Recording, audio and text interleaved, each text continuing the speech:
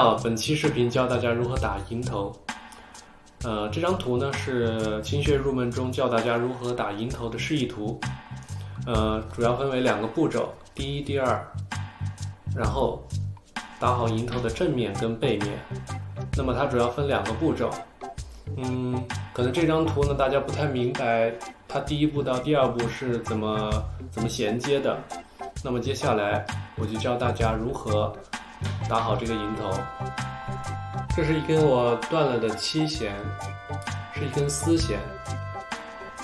如何打银头呢？首先，我们把琴弦的一端折一折，折好的这个长度呢，正好是银头的银头左边翅膀到右边翅膀的这一个长度。然后我们再折一折。正好是两折，这样就是第一步就完成了。接下来第二步，我们像给绳子打结一样，绕一圈，绕一圈，然后绕到背后，把刚把刚刚折好的蝇头呢，从这个圈内穿进来，穿进来，对，就像这样穿进来，然后传到中间。中间的时候呢，就收紧，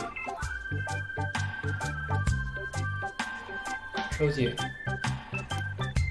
好，这样蝇头就打好了，是不是非常简单？